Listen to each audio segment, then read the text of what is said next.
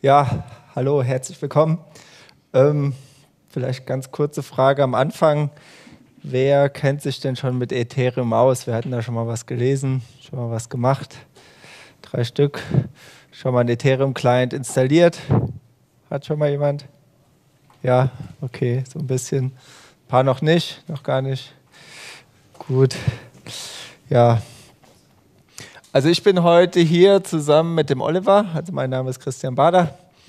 Ähm, der Oliver ja, hat seinen Master in Physik, ist Entwickler und Consultant und macht auch zusätzlich bei uns das Recruiting und ist schon jahrelang im Space, Blockchain Space unterwegs. Ja, genau.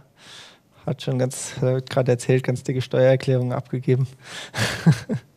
ja, also er kennt sich wirklich aus seit dem Studium. Ja. Und ähm, ja, ich bin Christian, ähm, habe Wirtschaftspädagogik studiert. Ja, Jobtitel finde ich immer schwierig. Also ich habe, bevor ich zu Brainbot gekommen bin, habe ich drei Jahre agiler Coach und Scrum Master gemacht. Und alles, was ich da gelernt habe, nehme ich jetzt mit rein in die Firma. Und ich bin seit April im Blockchain Space unterwegs. Das heißt, ich habe den Oliver dabei. Immer dann, wenn ich nicht weiter weiß, wenn eure Fragen zu kompliziert sind, dann hilft der Oliver mir und kann wirklich einsteigen. Bis ganz tief unten. Ja, also wir sind ähm, von der Firma Brainbot. Ähm, also der Heiko Hees, unser ähm, Chef, der hat mit am äh, Core mitentwickelt, ab seit 2014. Hat dann mit Hydra Chain einen der ersten Private Chains entwickelt auf der Basis von Ethereum. Wir entwickeln Raiden, kommen wir später noch dazu. Und ähm, Trustlines, das sind so unsere, unsere Kernprodukte. Wir haben jetzt mittlerweile 35 Mitarbeiter aus der ganzen Welt. Da sind Brasilianer mit dabei, Rumäninnen aus, aus Dänemark. Und wir haben Büro, Büros in Mainz, Berlin und in Liechtenstein. Und die Firma, die gibt es schon sehr lange, also wurde gegründet in 2000, hat auch mal sich früher sehr viel mit dem Thema Text-Mining-Suche beschäftigt, hatte schon mal einen Suchindex auch mit einer Milliarden gecrawlten Dokumenten und ist dann irgendwann, wie gesagt, ab 2014 in den Bereich Blockchain rübergewandert. Ja, was ist eine Blockchain? Also Slides sind immer auf Englisch. Ich sage dann so, was auf Deutsch heißt. Wenn ihr nochmal zum englischen Begriff eine Frage habt, dann fragt es. Also man sagt, es ist so ein verteiltes, dezentralisiertes Register. Also was heißt das? Es ist zum einen unveränderbar. Also wenn da einmal etwas gespeichert ist, dann ist es so abgesichert, dass es nicht verändert werden kann. Es ist transparent, also das heißt, jeder kann jede Transaktion nachvollziehen. Es ist demokratisch in dem Sinne, dass es immer einen Konsens gibt. Das heißt, die Mehrheit bestätigt die Transaktion. Es ist pseudonym, also das heißt, äh, da steht jetzt nicht mein Klarname drin, aber meine Public-Adresse. Und es gibt dann auch immer Möglichkeiten, wenn ich irgendwann einmal bei einer Börse meinen Namen angegeben habe für meine, für meine äh, publizierte Adresse, ähm, für meine öffentliche Adresse, dann, ähm, dann kann natürlich diese Börse nachvollziehen, welche Transaktionen ich auf der Blockchain gemacht habe. Ähm, es ist nicht stoppbar, also wenn dort einmal eine Transaktion angeschoben ist, dann kann ich nicht sagen, oh, ich will nicht mehr. Geht immer weiter und ähm, ist eben auch sehr sicher. Ähm, ja, also hier sieht man so Blocks. Was ist denn jetzt mit den Blocks in der Blockchain? Also wir haben auch eine Blockchain in, bei uns in der Firma hängen. Also die ist tatsächlich auch aus einem Stamm geschnitzt. Also das ist hier nicht irgendwie zusammengeklebt oder so. Ähm, ja, und im Prinzip genauso funktioniert das bei der echten Blockchain auch. Also ich habe hier Block 1, 2, 3. Hier habe ich die Transaktionen, die sind immer gehasht, da gibt es einen Hash. Ähm, und ich habe hier oben habe ich das äh, Proof of Work. Wird im Prinzip ähm, der Miner muss diesen Proof of Work eben erreichen und muss dafür eine ziemlich schwierige Rechenaufgabe lösen. Und die Kette, also genauso wie das hier mit dem Baumstamm passiert ist, wird eben die Kette immer damit verkettet, dass hier den Block 52, dieser Proof of Work, mit hier drin ist. Und dadurch sind die quasi eng verknüpft und können nicht mehr auseinandergenommen werden. Und die Blocks repräsentieren eben den verteilten Zustand der Blockchain. Blocks enthalten alle Transaktionen in einem bestimmten Zeitraum. Und ähm, eben, was ich gesagt habe, alle Blocks sind über den Proof of Work Hash des vorherigen Blocks miteinander verknüpft. Der Olli erklärt das später nochmal genauer und im Detail. Ja, das habe ich nochmal mit reingenommen, ist eben P2P-Netzwerk. Also das heißt, ich habe jetzt da keinen zentralen Server, sondern eben jeder, der so einen äh, Ethereum-Client oder einen Ethereum-Rechner laufen lässt, der verknüpft sich eben mit allen anderen Nodes oder mit denen, die in der Nähe sind. Und äh, dadurch bildet sich eben ein großes Netzwerk aus Rechnern, bei denen es keine zentrale Instanz gibt. Jetzt genau funktioniert, jetzt kommt der Olli dran. Das erklärt er. Soll ich drücken? Willst du drücken? Ich drücke selber. Okay.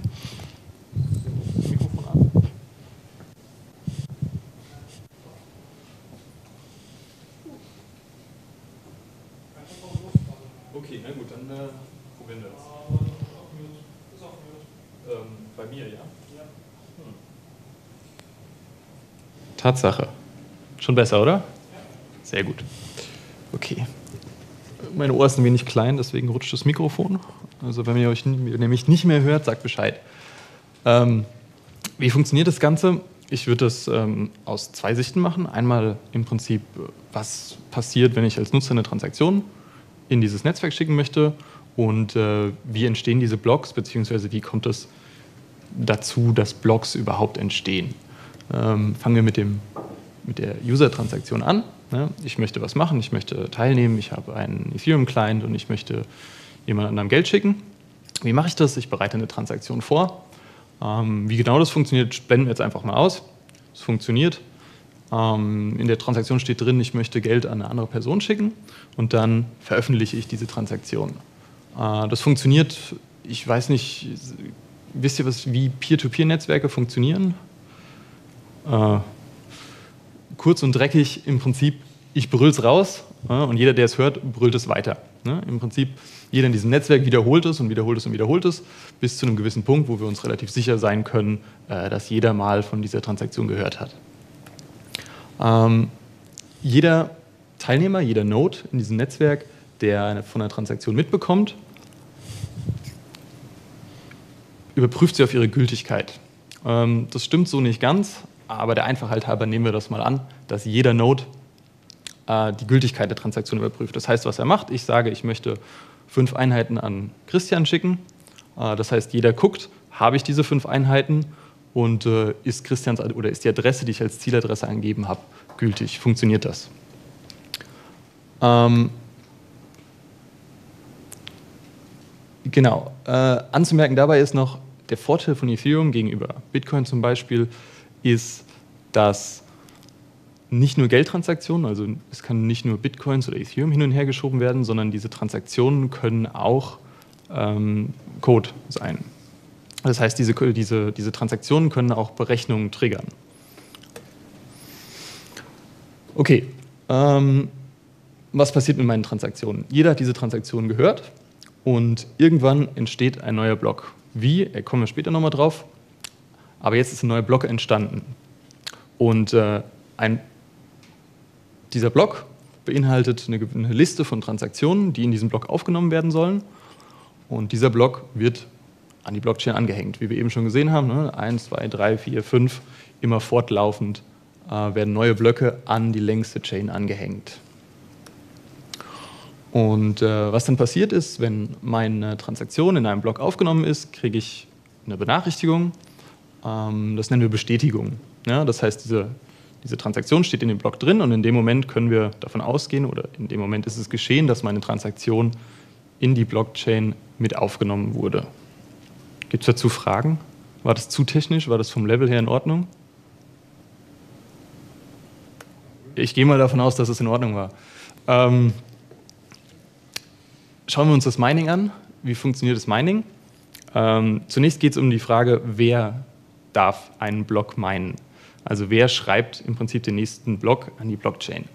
Und äh, das wird dadurch bestimmt, dass, wie wir schon gesagt haben, im Prinzip ist es eine Rechenaufgabe, eigentlich ist es eher eine Rätsel- oder Rateaufgabe. Ähm, man muss Okay, wir vereinfachen das. Es ist eine Aufgabe, die sehr kompliziert ist und die im Prinzip erraten werden muss. Ja, technische Details können wir gerne später besprechen, das wird etwas zu lang. Bitte? Das hört sich fast nach einer Differentialgleichung an. Nein, das Problem an der Sache ist, dass es eben nicht numerisch lösbar ist, sondern es muss tatsächlich erraten werden. Ähm, Wer kennt sich denn mit, Wer kennt sich denn mit Hedges aus? Auch zwei. Ah, wenig. Wir, wir, wir klammern das aus und verschieben, das, aus, okay. und, und verschieben das auf später. ähm, das heißt, nehmen wir an, ich bin ein Miner und ich habe die Lösung zu dieser schwierigen Aufgabe gefunden. Und das bedeutet, was ich machen kann, ist, ich kann einen neuen Block erstellen. Ne, in diesem Block muss ich meine Lösung veröffentlichen und ich kann in diesem Block Transaktionen anhängen. Im Prinzip bin ich in dem Fall der Alleinherrscher. Also ich kann bestimmen, welche Transaktion kommt rein, welche Transaktion kommt nicht rein und theoretisch kann ich auch leere Blöcke meinen, also ohne Transaktionen drin. Äh, das ist zum Beispiel der Hintergrund, warum wir Transaktionsgebühren haben. Transaktionsgebühren sind eine Incentivierung für den Miner, meine Transaktion mit in diesen Block aufzunehmen, weil der Miner die Transaktionsgebühren bekommt. Ähm, wie schon angesprochen, im Peer-to-Peer-Netzwerk, dieser Block wird veröffentlicht jeder schaut, okay, ist das eine gültige Lösung, die der Miner bereitstellt.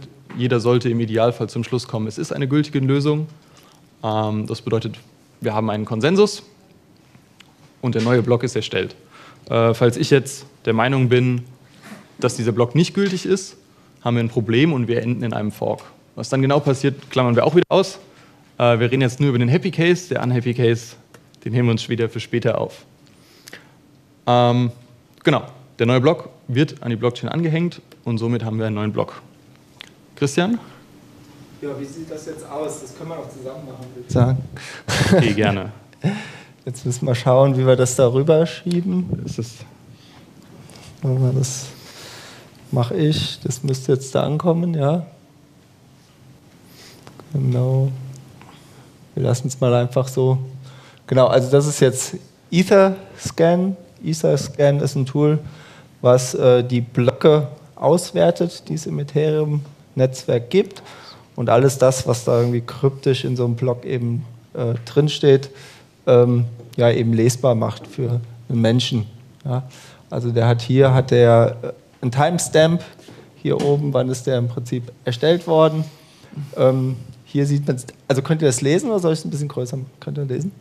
Ähm, hier sieht man, okay, da sind 181, 181 Transaktionen drin.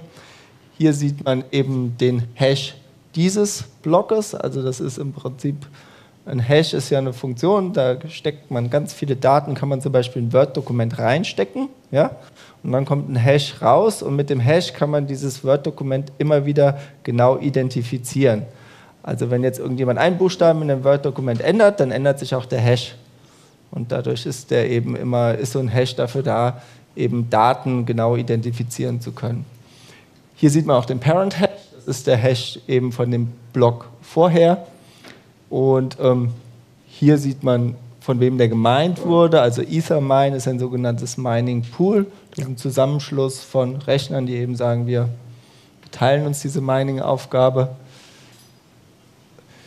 Hier sieht man die Schwierigkeit der Berechnung. Also diese Nons, das ist dieses Rätsel, was gelöst werden muss. Ja, also man hat äh, den Hash aller Transaktionen und man muss eben dann hier diese Nons, die muss man eben immer wieder schätzen, muss sagen, hier, ich habe eine Nons und ähm, da muss man gucken, okay, erreiche ich den Zielhash oder erreiche ich ihn nicht?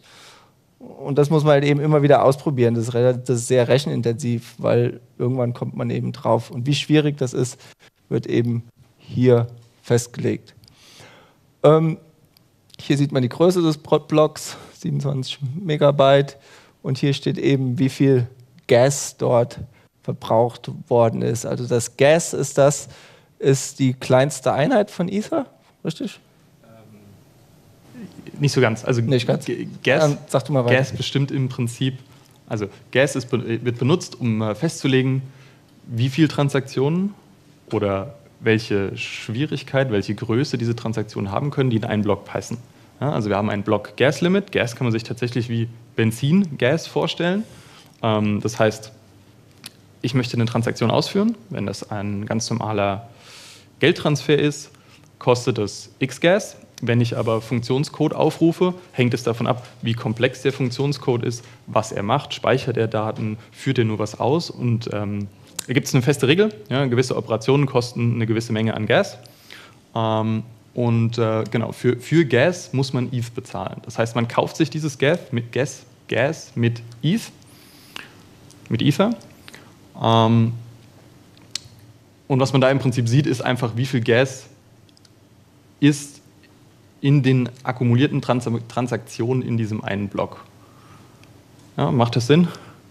Ist das nachvollziehbar? Okay.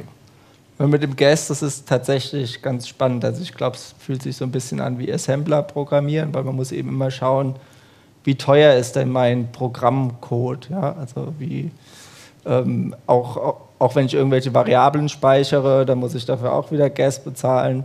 Und ähm, ja, das ist ganz spannend.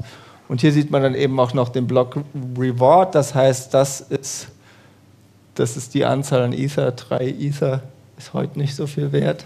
Ähm, der Preis ist ziemlich am Sinken, ähm, die der Miner im Prinzip dafür bekommen hat, um diesen Block zu meinen. Gibt es noch was Wichtiges darin? Jetzt muss ich mal gucken, wo wir sind. Da sind wir und hier sind wir. Dann setze ich mich. Ja. Da, genau. So, und dann bin ich noch drauf? Ja, gut. Ähm, ja, wir sind jetzt im Prinzip da bei Ethereum, also wir sind schon vorher schon ein bisschen eingestiegen. Was ist das? Wo kommt das her? Ähm, Ende 2013 hat äh, der Vitalik Buterin das White Paper für Ethereum geschrieben, also hat gesagt, so und so sollte Ethereum aussehen und funktionieren. Ähm, also was im Prinzip so ein, so ein Konzeptpapier ist. Ja. Und ähm, ja, nachdem er sich zum Beispiel Bitcoin angeschaut hat und eben auch andere Blockchain-Technologien, hat er sich überlegt, ist ja sehr jung, ähm, es wäre doch cool, wenn man so einen Weltcomputer eben baut. Ich weiß gar nicht, wie alt ist der Vitalik Buterin mittlerweile? 25 oder so? Also ist so ein Anfang Mitte 20. Also ganz junger, unscheinbarer, aber sehr cleverer und insbesondere auch kommunikativer, visionärer Geist.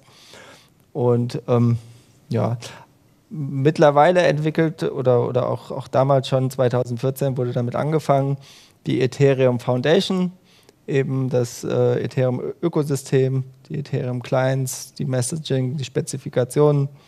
Und ähm, Ethereum wurde im August 2015 wurde das gestartet.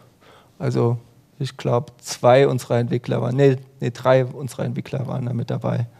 Da war der, war der Left Harris, der Heiko, der Konrad. Vier, wer noch?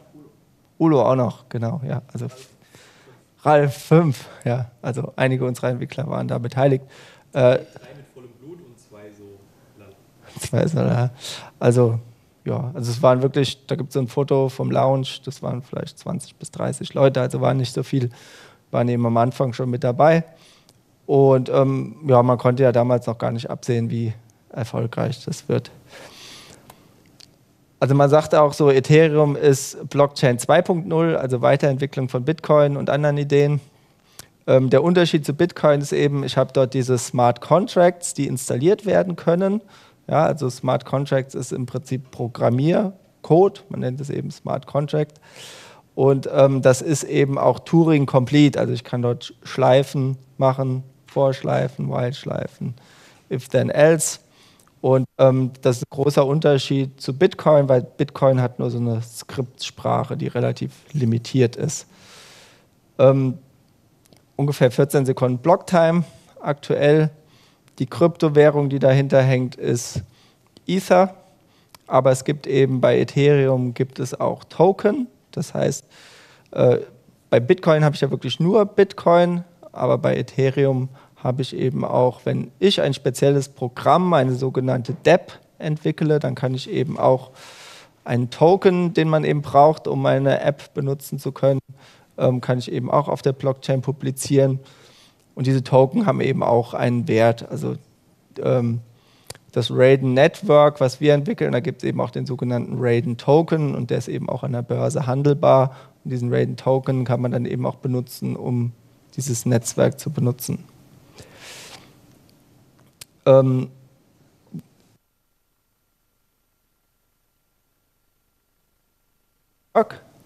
ich bin irgendwie wieder offline, gell?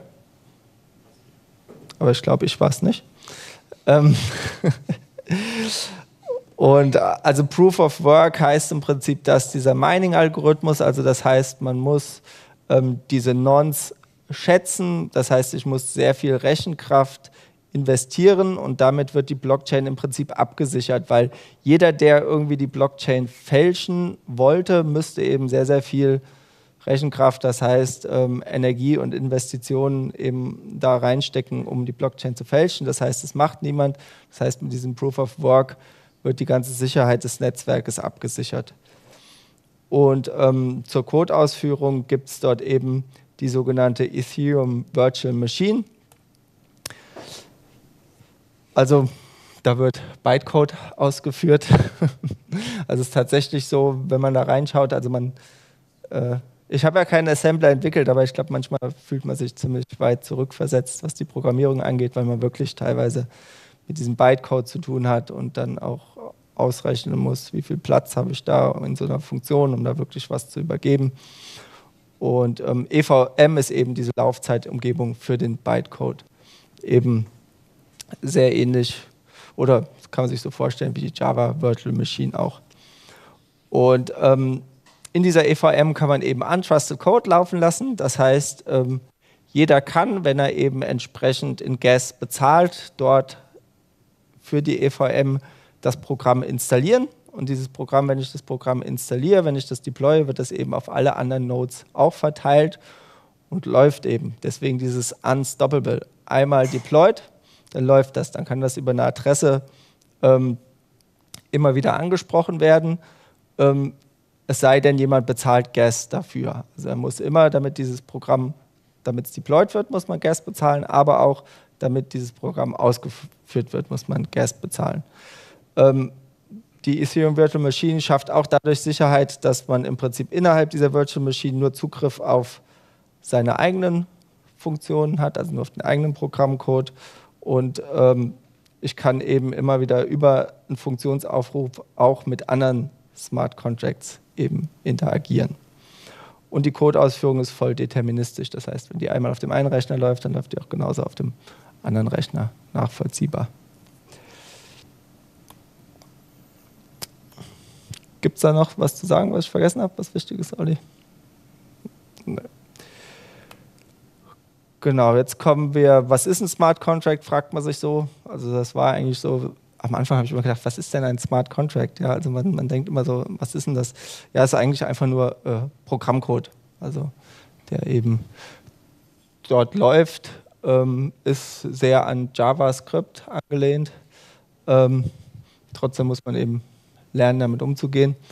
Und ähm, ja, und äh, das ist eben so, Smart Contract kann einmal von, von, von außen angestoßen werden. Also jeder Smart Contract, der dort, also jedes Programm, was installiert ist, ähm, wird eben über eine Adresse angesprochen und es können eben Funktionsparameter mit ähm, übergeben werden.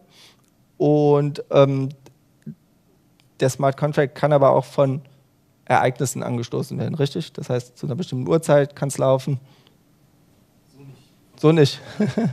von anderen Smart Contracts kann er immer angestoßen werden. Genau. Genau. Gibt dann auch so Oracle, das heißt, die dann irgendwie äh, die Verbindung zur Außenwelt herstellen. Irgendwie, also ich sag mal, wenn, wenn ich auf dem, auf dem Smart Contract zum Beispiel äh, speichere, dass jemand ein Grundstück gehört, dann kann ich das im Smart Contract speichern. Aber irgendjemand muss ja auch sagen, dass das Grundstück in der Realität auch wirklich einem Menschen gehört. Also soweit automatisiert ist es noch nicht. Sowas macht man über Oracle mach ruhig mit, ich brauche dich da, wenn ich da irgendwie, wenn es da noch Details gibt, die ich noch erwähnen kann. Ja. Okay, gut. Also wie gesagt, jeder kann darauf zugreifen und ähm, wiederum die Smart Contracts untereinander können auch wieder andere Funktionen aufrufen. Also da gibt es auch durchaus schon komplexe Interaktionen zwischen diesen verschiedenen Smart Contracts. Und ähm, der Aufruf, ähm, wenn man sich jetzt das aus so Pro Programmiersprachensicht, wie, wie, wie, wie rufe ich denn so ein, so ein Smart Contract auf, dann mache ich das über das Web3-Interface, das ist so eine JSON-RPC. Und da gibt es Libraries für bekannte Programmiersprachen, Java, Python, JavaScript. Und ähm, ja, mit denen kann ich eben mit den Smart Contracts dann auch interagieren und kann eben Programm schreiben, was dann eben im Browser läuft, was auf dem Handy läuft, was auf dem Server läuft und eben mit so einem Smart Contract interagiert. Gut, gibt es was zu ergänzen? Nein? Gut. Wie sieht denn das konkret aus? Da hilft uns auch wieder Etherscan. Ah. Gut, das ist jetzt ein sogenannter Token. Also ist ein Token Explorer. Das heißt ein spezieller Smart Contract. Also es gibt eben auch so Standards und ein Token ist eben ein spezieller Standard eines Smart Contracts, der eben bestimmte Funktionsaufrufe hat, die vorgegeben sind. Und hier, das ist eben schon eine Auswertung. Also hier sieht man den aktuellen Preis, der ist auch nicht so gut. Also da wird dann im Prinzip, äh, wie da an der Börse gehandelt wird. Hier sieht man, es gibt eben ungefähr 14.000 ähm, Adressen, die äh, diesen Token halten. Das heißt, das ist dann in dem Smart Contract verknüpft. Die und die öffentliche Adresse besitzt eben so und so viel Token. Jetzt können das eben 14.000 Personen sein, aber ich kann auch irgendwie, ich persönlich könnte jetzt auch drei Adressen haben. Also man weiß jetzt nicht genau, wie viele Individuen dahinter stecken. Hier sieht man auch die, die Transfers, wie viele Transfers gibt es da. Hier sieht man diese Contract-Adresse, eben hier ganz genau wie man den eben aufrufen kann. Wenn ich dann nach unten scrolle, wo bin ich? Ah, ich bin hier. Dann sehe ich eben hier die ganzen Transaktionen. Die Transaktion, damit die genau identifiziert werden kann, hat wieder einen Hash. Und da sieht man eben, von dieser Adresse wurden an dieser Adresse, also ich habe dem Oliver vor dem Meetup eben hier 4361,3 Tokens eben übertragen. Nee, stimmt nicht. Ähm Aber äh, ja, so kann man das im Prinzip, also da sieht man, dass eben alles transparent ist in der Blockchain, aber eben pseudonym, weil ich weiß eben nicht, wer hinter dieser Adresse steckt.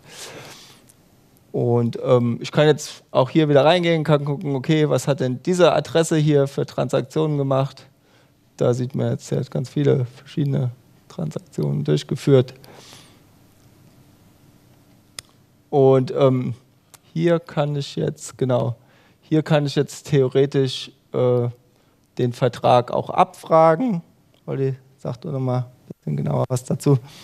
Genau, also es gibt, ja, genau. Also es gibt halt, es gibt zwei Arten mit Smart Contracts. Immer noch auf Mute, eigentlich nicht. Ne? Doch, jetzt. Entschuldigung. Also es gibt zwei Arten, wie man mit Smart Contracts im Prinzip interagieren kann. Die eine Art ist, was Sie hier sehen, Read Contract. Das heißt, das sind Informationen, die sind auf der Blockchain, die kann ich aus der Blockchain entnehmen. Zum Beispiel den Namen, wie viele Token gibt es. Ähm, oder auch gewisse ja, fast Funktionen. Im Prinzip, ich kann abfragen, welche Adresse hält wie viele Tokens ähm, auf der anderen Seite gibt es die Art von Interaktion, bei der ich wirklich auf der Chain mit dem Smart Contract interagiere. Das heißt, ich kann hier, wir sehen die Funktionen, die es gibt, uh, Approve, Transfer from, Burn, Transfer. Also ich könnte tatsächlich hier schon an eine Adresse einen gewissen Betrag schicken. Uh, das Ganze muss ich natürlich verbinden mit meinem Ethereum-Client. Steht hier oben, in dem Fall Metamask. Um, aber es ist interessant zu wissen, dass im Prinzip ein Smart Contract, mit dem kann ich aktiv interagieren über eine Transaktion auf der Ethereum-Chain und ich kann auch einfach Daten auslesen, oder hier, ähm, die auf der Blockchain schon vorhanden sind. Ich würde sagen, im Prinzip, das war's zum Token. Ja. ja. Dann. Äh, okay, danke. Ups. Habt ihr Fragen dazu? Ja. Keine. Ah, Bitte. Ja. Genau. Ähm, ja, jetzt hat die Blockchain eben verschiedene äh, Probleme sind schon aufgetreten. Ähm, Skalierbarkeit, ähm, Privacy, Privatheit also und Benutzbarkeit. Jetzt äh, im Moment über das eine Problem, was wir im Moment haben, diese Spekulation, die es auch mit Kryptowährungen gab, ähm, tritt auch noch, also merkt man jetzt, dass das jetzt ein, durchaus ein Problem ist. Also wir benutzen bei Ethereum ja wirklich ähm, den Ether, also es ist halt ein ganz wichtiger Funktionsbaustein, um eben wirklich für die Programmausführung und fürs Mining bezahlen zu können. Und, ähm, aber trotzdem war es eben so, dass gerade ja, im letzten Jahr ähm, oder auch in diesem Jahr sehr viel Spekulation gab, was Ethereum angeht. Wer kennt CryptoKitties? Wer hat das schon mal gehört? Achtung, ja, der, der Olli kennt es auch. Ja. ja, also im Prinzip konnte man dabei, ähm, das war so eine DApp, also so sogenannte DApp, da gab es Smart Contracts und es gab eine App, die mit diesen Smart Contracts interagiert hat. Also man konnte dort Katzen kaufen nach speziellen Kriterien und konnte die auch paaren. Und dann gab es eben Katzen mit ganz besonderen Merkmalen, Ausprägungen. Und ähm, wenn die dann ganz selten waren, dann wurden die ganz teuer und wurden auch sehr, sehr teuer verkauft. Ich glaube, einzelne Katzen für ein paar hunderttausend US-Dollar, oder? Wie viel war das? Einige hundert ETH, ja. Ja, was okay, auch immer also, der, der, Gegenwert war. Ja, also richtig, richtig teuer. Das hatte so ähm, Anfang 2018 so 1,5 Millionen Benutzer und insgesamt waren da sogar 20 Millionen US-Dollar drin. 11 Prozent aller Transaktionen in Ethereum ja, haben im Prinzip nur von äh, gingen auf Kosten dieses Crypto-Kitties-Programms. Und man hat da eben dann gemerkt, dass generell die Blockchain schon darunter leidet. Also es haben dann immer mehr Transaktionen gewahrt, also gewartet, dass die gemeint werden sollten, also verarbeitet oder berechnet werden sollten. Der sogenannte Gas Price, also das, das ich, was ich für Gas bezahlen muss, ist eben stark gestiegen und damit auch die Dauer der Abarbeitung. Und ähm, ja, es war eben nur ein Spiel. Und wenn man irgendwie sagt, okay, die Blockchain soll irgendwann mal die Finanzindustrie ablösen, dann hat man da schon gemerkt, okay, so ein kleines Spiel bringt das schon an seine Grenzen. Und ich habe eben Probleme mit der Skalierung. Ähm, außerdem ist es so, ja, dass so eine Transaktion wirklich dauert und ähm, sie dauert halt wirklich. Ich dachte am Anfang auch so, ah ja, die dauert halt lang. Aber wenn man dann das erste Mal so eine Transaktion ausführt und darauf klickt und dann sieht, oh, das wartet und wartet. Es ist wirklich ewig lang. Man kommt sich in Zeiten vom C64 irgendwie zurückversetzt vor. Ähm, ja, also äh, mit so einer Sekunde oder zwei, da können wir im Zeitalter des Internets noch leben, bis wirklich eine Antwort kommt vom Programm, aber zehn Sekunden ist ganz klar zu lang. Und dann muss man, also das Thema haben wir bei unserem eigenen Programm im Moment. Man muss dann auch immer noch warten, bis dann eine Transaktion wirklich auch zu 100 Prozent bestätigt ist. Also das dauert dann auch immer noch seine Zeit. Ja, und es ist eben teuer. Also äh, nur Kryptomillionäre können 10 Dollar äh, Gas bezahlen, also Fee bezahlen, ähm, um, um sich eben eine Tasse Kaffee zu kaufen. Also äh, PayPal ist schon teuer, aber es gab Zeiten, ich weiß gar nicht, wie es heute ist. Wir haben gesagt, irgendwie heute ist es relativ günstig. Heute ist sehr viel besser, ja. ja. Man kann es sogar nachschauen hier, East Gas Station. Da kann man sehen, okay, hier oben. Wo bin ich? Ah, hier. Okay, das sind so die Standardkosten für einen Transfer. Also ist relativ günstig, war mal viel, viel teurer, gell? Ja, wie gesagt, zu Peakzeiten das waren bei Bitcoin ungefähr 10 Dollar. Bei Ethereum okay. war es zum Glück nicht so schlimm, aber auch. Ja. Aber auch. Und da, und da sieht man eben auch hier unten, ähm, hier, wenn ich eben, äh, also wenn ich langsam bin, also wenn es kleiner 30 Minuten sein soll, dass so eine Transaktion durchgeht, dann ist es eben günstiger, als wenn sie eben sehr schnell sein soll. Und schnell ist hier kleiner als zwei Minuten. Also äh, dauert schon. Also das ist ein echtes Skalierungsproblem. So, jetzt muss ich wieder schauen, wo ich bin.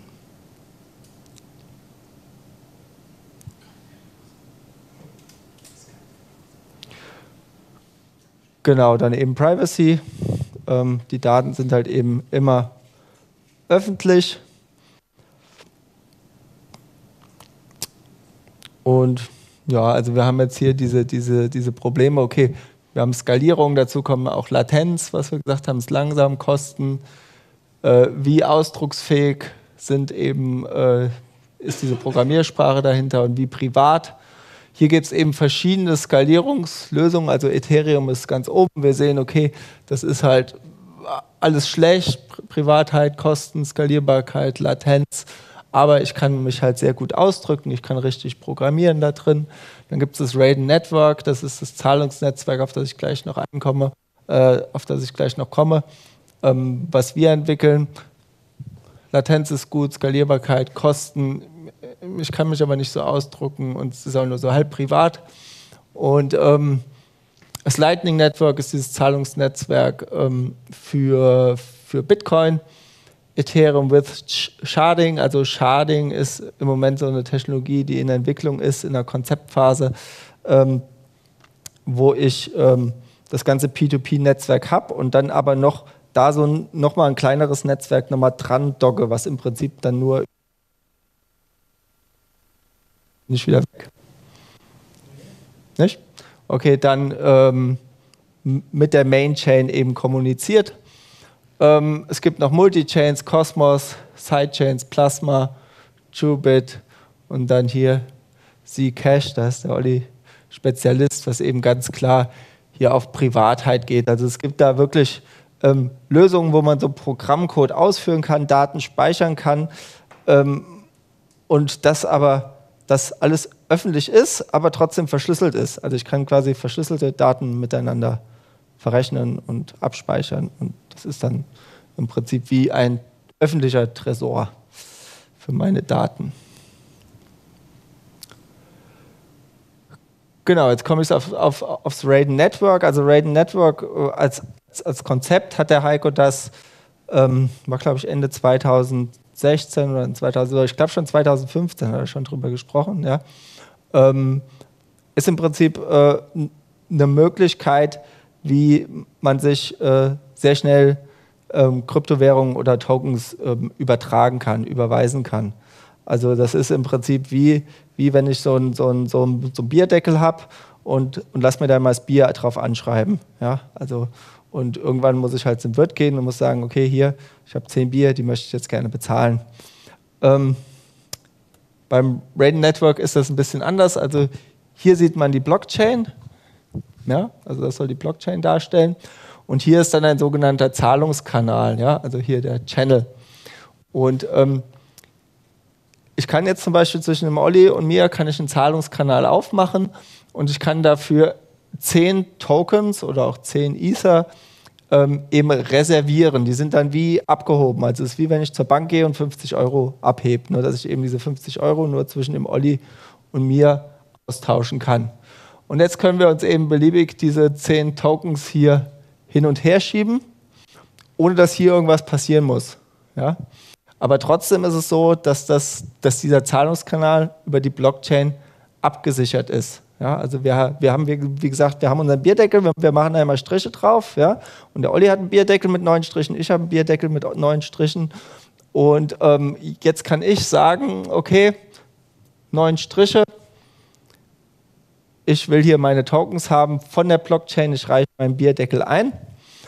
Und dann reicht der Olli seinen Bierdeckel auch ein, auch neun, dann ist alles klar, dann gehen wir auseinander, dann haben wir unsere finales Guthaben haben wir wieder auf der Blockchain.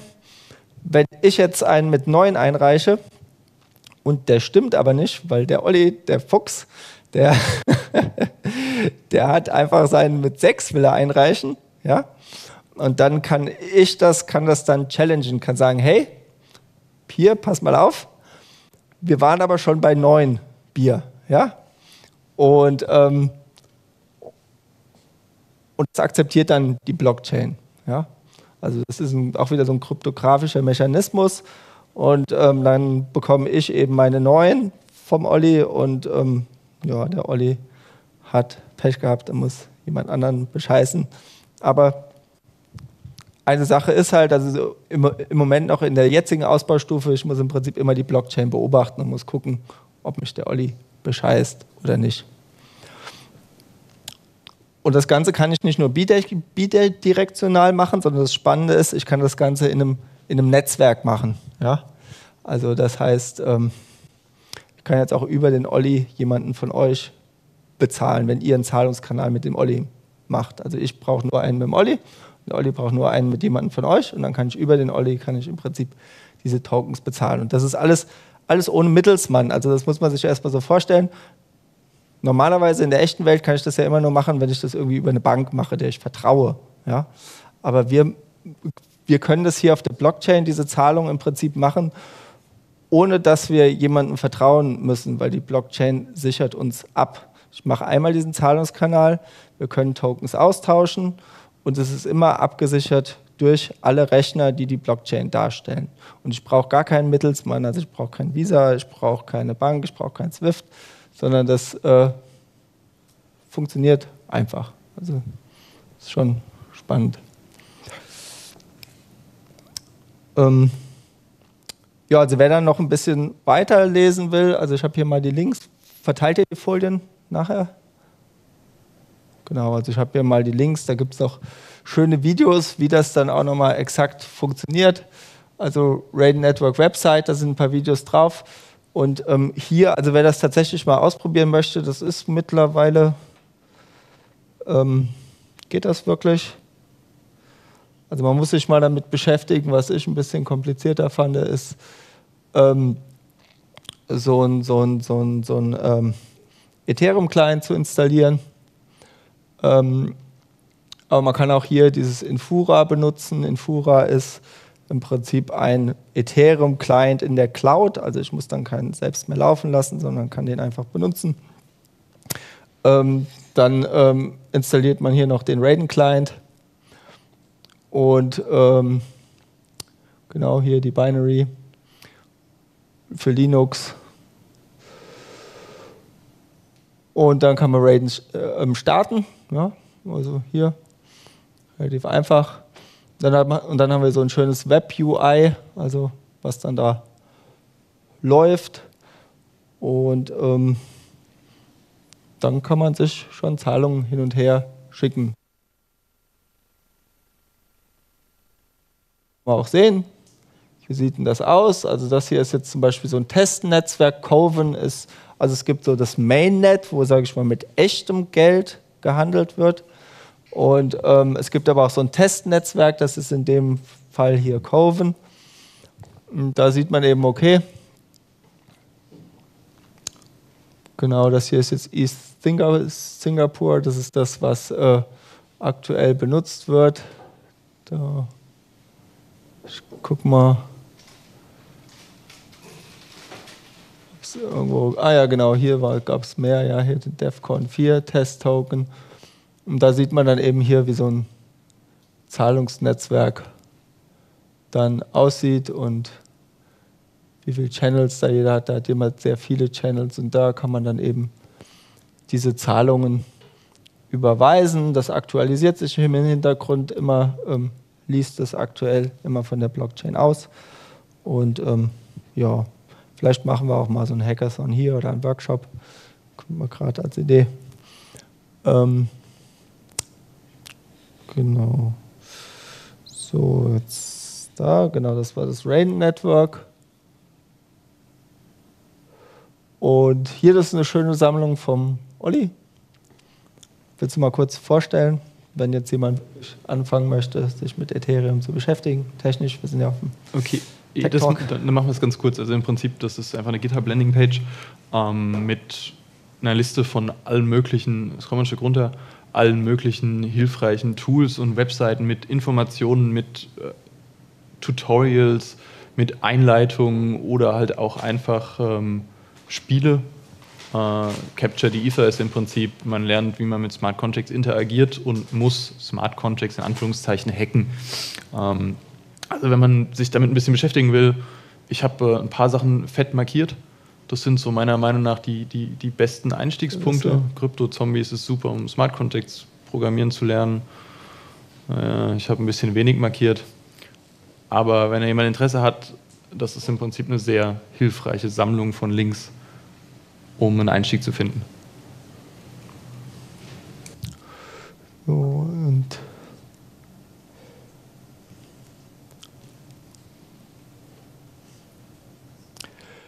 ja, damit sind wir schon durch. Vielen Dank.